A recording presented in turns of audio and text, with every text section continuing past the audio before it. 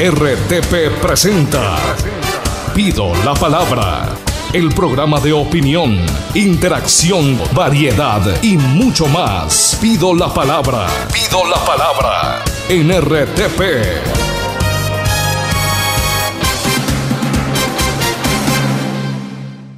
Bueno amigos, bienvenidos a su programa Pido la Palabra. Hoy tenemos a Jaime Andrés Cañas, concejal del municipio de Puerto de Río, abogado. Pero antes de empezar con toda esa historia de concejal y abogado, eh, ¿cuándo, usted piensa, ¿cuándo empieza usted a pensar en política? Bueno, muy buena pregunta, muy buenas tardes para toda la comunidad de Puerto de Río. Eh, la política eh, surgió, nació cuando me gradué como profesional del derecho eh, en el año 2010. El año inmediatamente siguiente venían las elecciones para alcaldía y para consejo. Ya yo contaba con una formación profesional y decidí emprender un tema de vida también profesional, que es el tema de la política, y decidimos hacer el ejercicio democrático de hacernos elegir, de hacernos contar, de ver qué aceptación había frente a la comunidad y a Dios gracias eh, se tuvo una experiencia positiva, fui la segunda mejor votación del municipio de Puerto de Río para el Consejo y actualmente seguimos sustentando la curul entre el 2012 y el 2015. Yo le pregunto esto porque es que normalmente esos jóvenes que empiezan a, en, las escuelas a, hacerse notar y, y como que empiezan a, mostrar que les gusta la política. ¿Usted nunca fue personero de su colegio? Sí, yo en el año 2005, 2004, en el, cuando estaba en el grado 11, eh, aspiré a la, personería estudiantil, a ser representante de los, de estudiantes en, mi institución donde estudiaba, que era el Liceo Antonio Nariño, hoy Institución Educativa Antonio Nariño, y desde ahí uno empieza a sentir que existe el don del, servicio, ayudarle a los demás personas, en este caso pues los estudiantes con todas sus problemáticas y ahí esto viene uno alimentándolo pues ya con el tema universitario y, ya posteriormente pues con el tema Corporación Consejo Municipal. En el año 2004 eh, fuimos varios aspirantes, esa vez no logré ser personero porque había una muchacha que venía con un trabajo eh, de mucho más tiempo y, no se logró pues consolidar, pero eh, nos gusta el tema del, don del servicio, del, liderazgo, de tener una voz y un voto frente a las personas que lo necesitan en un momento determinado. Pero eh, esa, esa, iniciación, ese inicio de, de, la política, entonces veo que no fue después que se graduó como abogado, sino que usted tenía una semillita ahí quizás dormida que me cuenta usted fue personero. ¿Cómo ve usted en este momento? Usted es una persona muy joven, pero ¿cómo ve usted la educación eh, de aquel entonces? Ya haremos, ahora estamos hablando de unos 12 años, a la educación de hoy. Sí, exactamente, exactamente estamos hablando de 11 años, yo me gradué en el 2004 y 12 años pues, en el tema en el que estaba en el colegio y desafortunadamente eh, el tema de la educación ha venido eh, cambiando, eh, pero hacia mal. O sea, nosotros hoy en día vemos que el tema de los docentes frente a los estudiantes ya no hay la misma empatía, no hay ese mismo eh, don de servicio que, existía cuando nosotros éramos estudiantes, unos docentes más capacitados, unos docentes más preparados y unos estudiantes que éramos más receptivos frente a los educadores. Hoy en día eh, lo que se ha hablado mucho, el tema de la infancia y la adolescencia ha venido sufriendo unos temas complejos y esto no ha permitido que la, eh, la educación haya fortaleciéndose, sino que por el contrario venga de una u otra manera debilitándose en el tema pues, de estructura escolar. Terminamos esa primaria y, el bachillerato y entramos a la universidad. Esa otra, esa otra visión suya como persona joven, como universitario, ¿cómo la ve? Ah, en, el, momento, ¿hay ese apoyo? ¿No hay apoyo? Eh, ¿Se crece, se crece con, con más oportunidades? Bueno, hay que, para que la comunidad sepa, una vez yo me graduó del colegio en el año 2004, eh, con la bendición de Dios, entramos inmediatamente a la Universidad de Antioquia, seccional Puerto Berrío, la universidad que nosotros contamos. Usted fue de los primeros grupos de abogados que salieron de la Universidad de Antioquia. El primer grupo de derecho, en ese estuve incluido y con la bendición de Dios fui el primero en graduarme en el año 2010, es decir, a los cinco años completicos. Pero volviendo a la pregunta inicial, eh, son dos mundos muy diferentes. El tema colegio uno lo vive con una eh, inocencia muy diferente. En su momento, pues eh, estamos hablando de hace 11 años, uno tenía una visión de mundo muy diferente, uno viene con unos principios desde la casa, pues que es la primera forma donde se educa al, al estudiante, al joven, a la persona y logramos, como le digo, con la bendición de Dios empatar inmediatamente, es decir, no tuve, no tuve eh, periodos pues, de, de, no estudiar, sino que termino el colegio y automáticamente me presento a la universidad y se pudo pues, lograr eh, eh, tener acceso a la educación superior, porque en la Universidad de Antioquia nada más se pagaba mil pesitos, donde hubiera tocado pagar un semestre de 2, 3 millones de pesos, eh, no hubiera tenido la oportunidad de ser profesional porque mi familia no contaba en su momento con los recursos para darme, haberme brindado el estudio. Entonces, eh, es muy importante que la comunidad sepa que la universidad es casi que gratuita, porque mil pesos cada seis meses es nada. Prácticamente usted me ha quitado mi pregunta, es el mensaje que se le puede dar a esos jóvenes que están terminando un bachillerato y que ya se están poniendo un obstáculo de que no van a poder seguir estudiando porque no hay un dinero o no hay una economía de sus padres para la universidad, ¿cree que es posible vencer ese obstáculo? Muy posible. Yo soy una prueba viviente de ello. Es totalmente posible. La Universidad de Antioquia es una universidad pública. En Puerto Berrío la tenemos. La universidad ha graduado una cantidad de profesionales, técnicos y tecnólogos. Y no solamente hablemos de la Universidad de Don Orlando, no dejemos de, un lado al SENA. Para mí la labor que está haciendo el SENA en Puerto Berrío es una labor fundamental, que es en la capacitación de los jóvenes. En las personas que hoy en día no quieren tener una una educación fuera del bachillerato es porque realmente no le nace, porque en el SENA también es totalmente gratuito. Lo que pasa es que viene una limitante que como son entidades públicas, tiene que ser a través de concurso de méritos. Es decir, eh, yo no es que voy, vengo y pago y, me inscribo, sino que hay que hacer un concurso y la persona debe eh, superar ese, esa prueba, como se llama, una prueba, un examen, como se, se conoce también. Entonces ahí es donde nosotros complementamos la educación que trae desde la escuela, desde la básica primaria, desde la secundaria, en el colegio, para poder que el joven esté bien preparado y pueda tranquilamente superar ese examen que le plantea la universidad. Desafortunadamente, eh, la universidad no ha, no ha podido abrir muchos cursos porque se trae el programa Puerto Berrío, pero al momento de hacer el examen o la prueba ya de admisión, muchos de los aspirantes a estos cargos o a estos eh, cursos o carreras profesionales se quedan porque no son capaces de aprobar el examen de admisión. Entonces ahí es donde es la tarea fundamental de los Muchos colegios. oyentes y televidentes estarán haciéndose o queriendo hacer esta pregunta. Yo se la voy a hacer por ellos.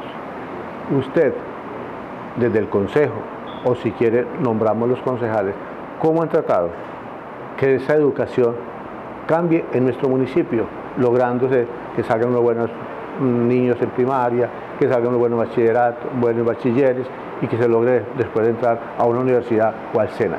¿Qué ha, hecho el Consejo por eso? Bueno, lo primero que se ha hecho es el tema de, de rogarle encarecidamente a esta administración que aprovecháramos al gobernador actual, al doctor Sergio Fajardo, con su tema de Antioquia la más educada. Esta era con su bandera política, que es una bandera muy acertada, que incluso el presidente Santos se la ha querido robar con Colombia la más educada. ¿Y por qué no Puerto Berrío con Puerto Berrío el más educado?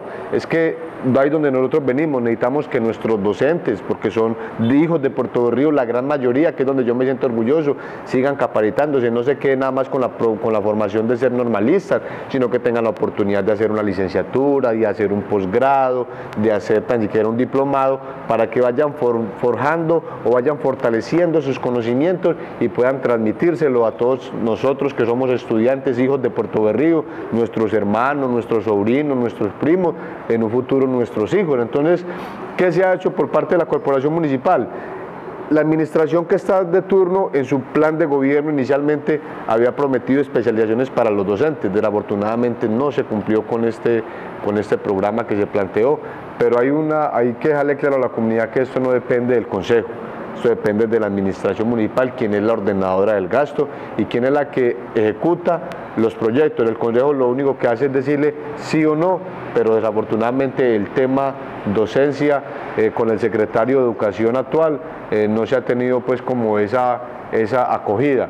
Veamos por ejemplo lo, que paró con Alfonso López el tema infraestructura que hace parte del ambiente en el que se forman los estudiantes. Si no es por una tutela que pone el peronero estudiantil, no se les hubieran hecho esas mejoras útiles y necesarias que requería la institución. Entonces, la educación de calidad parte desde varios ámbitos parte no solamente de la formación como docente, sino de los espacios que tengan eh, todos los estudiantes para poder eh, estudiar tranquilamente. ¿Qué buscaba usted con, llegar al Consejo?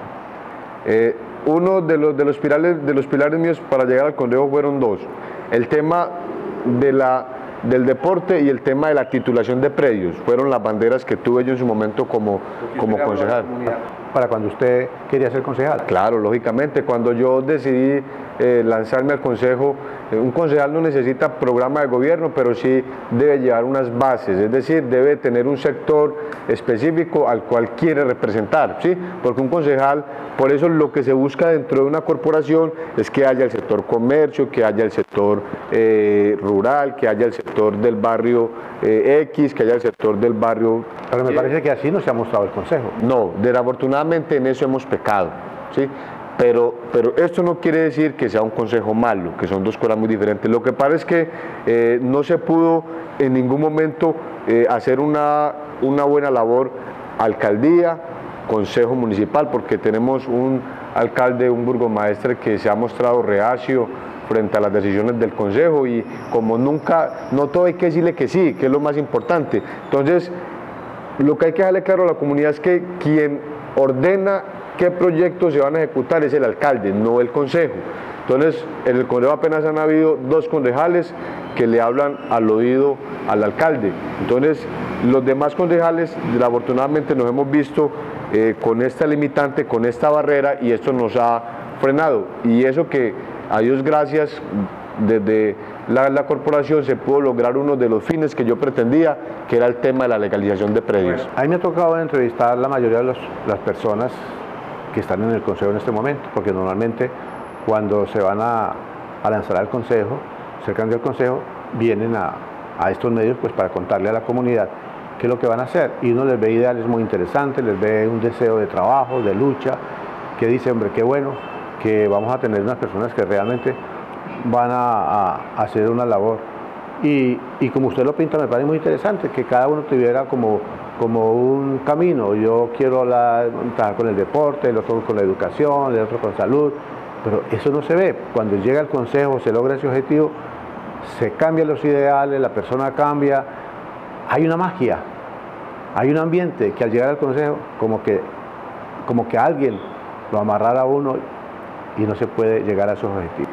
Bueno, sí, don Orlando, y para la comunidad, esto es una afirmación acertada en el sentido que cuando uno desea eh, hacerse elegir para el tema de una corporación municipal, uno busca un sector donde uno sea fuerte, es decir, donde la persona que desea aspirar al consejo tenga una fortaleza. Eh, ya sea en el sector del deporte, ya sea que sea un líder del tema de las, de las asocomunales, ya sea que tenga un fuerte con un grupo determinado, llámese madres comunitarias, llámese madres FAMI, madres cabezas de familia, donde se busca un ideal. ¿Cuál ha sido de, pronto el desacierto o en lo que no se ha podido tener esta fortaleza en la corporación actual? Y es que, eh, vuelvo y lo reitero, y no quiero sonar canción, es que desafortunadamente esta administración se ha querido robar todo, eh, todos estos, eh, digamos, logros que han tenido, que muchos han pasado por, por, el Consejo, pero se han tenido diezmado o no se han dado a conocer, porque tenemos un alcalde que pretende siempre alabarse con todo lo que la corporación hace. Uno de los ejemplos, e, uno de los ejemplos que le puede traer aquí en Puerto Berrío, en este Consejo Municipal, la titulación de predios pasó por el Consejo Municipal que fue una de las fortalezas que yo tuve en campaña en Puerto Berrío. Hoy se han legalizado más de 2.300 predios. ¿Y de quién es esta política? Una política a nivel nacional de Germán Vargas Lleras, a través de todos con un techo digno, a través de las 100 viviendas gratis que tenemos en Puerto Berrío. Entonces, eh, desafortunadamente, no todos, y yo tampoco he cumplido el 100% de lo que en su momento tuve legal. Perdón que le interrumpa, pero las 100 viviendas, eh, ¿quién tiene esa bandera de esas 100 banderas? las banderas son del Ministerio de Vivienda. Porque aquí se habla otra cosa entre el municipio. Desafortunadamente, por eso le digo, don Orlando, tenemos una administración que todo es yo-yo. Primero yo, segundo yo y tercero yo, los demás no existen. Entonces, ellos son los que quieren hacer ver que es una corporación mala. Y para ir más, más a fondo, mucha de la pavimentación que está en el municipio de Puerto de Río, muchas de las calles fue aprobada por el Consejo Municipal mediante un empréstito que para que la gente entienda es un crédito que el Consejo le autorizó al alcalde para que prestara plata en los bancos y pudiera pavimentar. Fueron 2.500 millones de pesos. Es una pregunta muy interesante con recursos del municipio. Y lo empieza a pagar en el 2016. Es decir, o sea, cada familia, cada familia que está en esas calles o no solamente en esas calles cargadas, sino todas estas, toda la comunidad porteña le toca que meterse la mano al bolsillo para pagar ese, ese cemento. Lógicamente, todos, todos tenemos que hacer, cualquiera persona, cualquier persona puede hacer el ejercicio. Antes de ese procedimiento, ¿cuánto costaba mi vivienda? Ahora se pasó el desarrollo, digámoslo, el, progreso municipal, pues porque tener la calle pavimentada es algo que no se puede desmeritar, pero hay que entender que ya mi casa se valoriza, hay que entender que yo debo contribuir mediante un impuesto predial. Eso lo vamos a pagar nosotros los porteños, los hijos de Puerto Berrío, los que tenemos nuestras viviendas en Puerto Berrío, los que tenemos nuestras casas en Puerto Berrío, somos los que de una u otra manera vamos a empezar con nuestros tributos, con lo que pagamos de impuestos, se empiezan a pagar todas estas inversiones que está haciendo la administración, porque, vuelvo y reitero, esto fue mediante un crédito. Otra parte viene de, otros eh, eh, temas que más adelante se tocarán, pero es donde yo quiero llegar. La pregunta que usted me hizo, ¿qué ha hecho el Consejo Municipal de Puerto Berrío? Sí, no, todos, eh, no todo se ha podido ejecutar porque hay que reconocerlo, pero muchas de las cosas que se están haciendo en Puerto Berrío han pasado por el Consejo Municipal. ¿Qué es ser un buen concejal? Lo primordial, lo que trae la norma, la constitución y las leyes, para que sea un buen concejal, lo primordial es el control político. O sea, la esencia de un consejo es el control político. Un concejal no está para entregar obras, un concejal no está para hacer casas, un concejal no está para eh, hacer parques, que si existiera una... Ni para regalar dinero. Ni para regalar dinero, mucho menos, ni para pagar servicios, ni para regalar fórmulas, que es lo que desafortunadamente se ha venido eh, manejando la forma politiquera pues, en nuestra tradición colombiana, no digamos que en Puerto Berrío solamente, pero la esencia, don Orlando, principal, lo que la Constitución y la ley le dice a un conejo es haga control político, para la que la comunidad entienda qué es un control político, para que se, los dineros que son de todo el pueblo, porque no son dineros de la alcaldía, no dineros del municipio, y el municipio somos todos, no se pierdan. Esa es la labor esencial de un consejo. Ya vienen unas labores secundarias, que es por ejemplo trabajar mancomunadamente con un, alcalde que se dejara, que, permitiera que el consejo le ayudara, pero desafortunadamente esta administración ha sido reacia porque no quiere que un concejal eh, muestre un potencial porque se sienten amenazados frente a, una hegemonía que ellos vienen manejando. Pero son dos, son dos cosas muy fundamentales, el tema de control político, defender las comunidades, que es un tema que le compete al Consejo, para eso se elige. Un Consejo es una corporación, igual al Congreso eh, en, el término pues, de, comparativo. ¿Qué hace el Congreso? El Congreso lo que hace es le dice al presidente sí o no en ciertos aspectos. Eso es lo que hace el, Consejo Municipal. Le dice, alcalde, sí se le puede dar esas facultades, no se le puede dar e, e, esas facultades. Esa es la verdadera esencia de un Consejo. Como usted habla del Consejo, ¿por qué eh, inició, el alcalde se inició prácticamente con un número mayor de concejales a favor, que me parece a mí que ahora no existe. ¿Qué ha pasado? No, no, él Todos las directrices de los partidos y movimientos políticos frente a una persona que gana una administración, que lo hace eh, con una buena diferencia frente a sus contradictores, es rodeen al alcalde municipal.